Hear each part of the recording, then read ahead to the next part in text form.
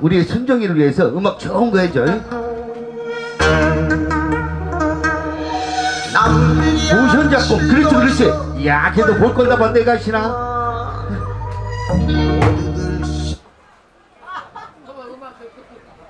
왜? 한 번 친다고 그랬잖아.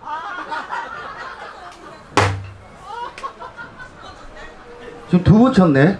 너 계약 위반이야. 어? 안 해? 그거 하지 마라. 뭐 누가 시킬 줄 알지? 그러면은 야 막내야, 우리 선수가 보여주자. 선수가. 예.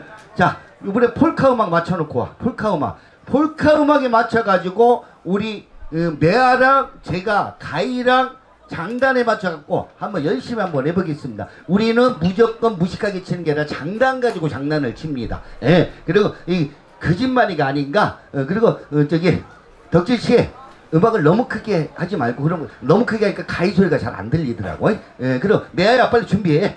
어, 야, 야, 야, 날씨 더운 날 사람들 기다리면 짜증 나. 빨리빨리. 어, 너는 빨리빨리 그 준비해. 그래. 야, 아!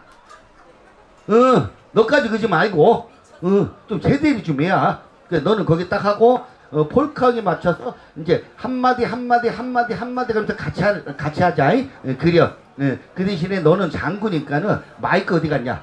어, 마이크를 가져와. 그래갖고 거기다 딱 갖다 대. 예. 그래야지 내가 가르칠 때 여기 아주 요령이 생겨갖고 장구를 안 쳐요. 그러니까 요거를 마이크를 갖다 대야지 이게 소리를 찍을라. 어, 우리 매아 잘하라고 박수 한 번만 주시고.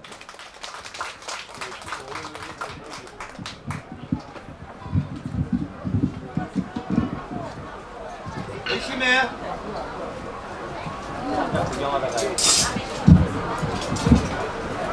하려. 그렇지 그렇지. 몽충아 너무 크잖아 이 몽충아. 울리잖아. 그렇지. 하려.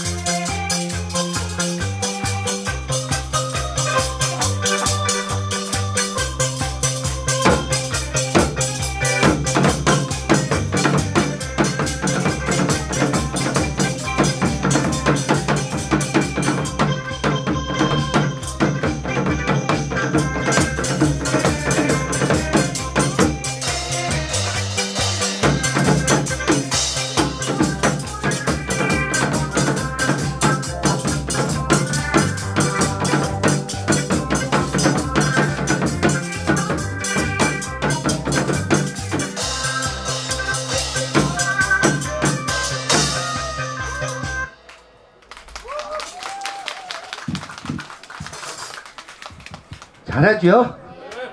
어떻게 더 보고 싶어? 진짜로? 근데 뭐 어떻게 앵콜도 안 나고 뭐 나오는 게 없냐?